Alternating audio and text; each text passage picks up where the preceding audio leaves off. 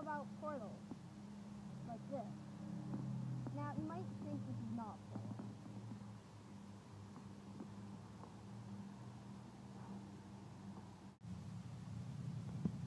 This is a portal. So if you go through, it's somewhere, you're somewhere else. This is another example of a portal. It's a gate, as you can see. So, then I, yeah, that's, some like this one,